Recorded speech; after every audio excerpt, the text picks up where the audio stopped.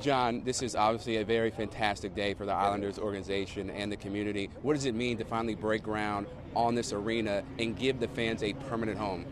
Boy, it's fantastic, right? I mean, you can hear in the background now, they're moving the dirt as we're talking. We're going to have to shout over it. So they're wasting no time. The ceremony is over, and they're going to work, which is great. So seeing that as a reality on this special day is pretty terrific. How much more support do you think you'll get from the community because fans don't have to travel from Barclays Center and the Coliseum? Well, I think our fans have been making that journey for a long time, and they're the greatest fans in sports. So it becomes more convenient for them. I'll look at it a different way.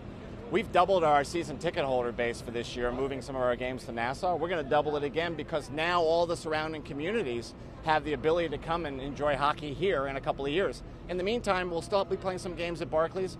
As the commissioner announced, we'll be playing the majority of our games now at Nassau County Coliseum, so that's terrific for our fan base. Now, just how important was it to keep this team in Long Island when you talk about a permanent home? Yeah, super important, right? I mean, there was no economic viability for this National Hockey League franchise if we didn't have a new home.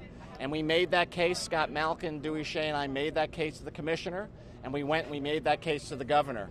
And the great thing about the governor and the other political leaders, they showed political courage in supporting this project, which is being privately financed, which will have tremendous community benefits, but really is all about supporting this community. Not only will there be Islander games, but music is our second home team there'll be dozens and dozens of great musical acts coming through that the fans and the, and the community members of this great area can come and see, to your point, a lot more conveniently than they did in the past. Will just uplift the whole community as a whole. Well, I think yes, I think it will, and I think the other thing is that it wasn't it was lost perhaps in the incredible day here, but the Islanders are working to improve the parks that are around here. The Islanders are building a very large community center. The Islanders are embedding themselves in Floral Park. Our headquarters are now in Floral Park. We've already moved them there. We want to be great citizens of this community, and we will be. Lastly, to the fans, what's your vision for this team when this arena is finally done?